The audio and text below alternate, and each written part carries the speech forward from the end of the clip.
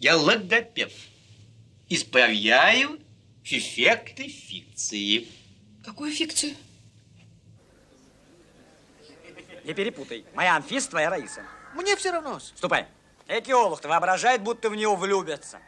Впрочем, если смотреть на жизнь, так сказать, с философской точки зрения, то и такие люди полезны.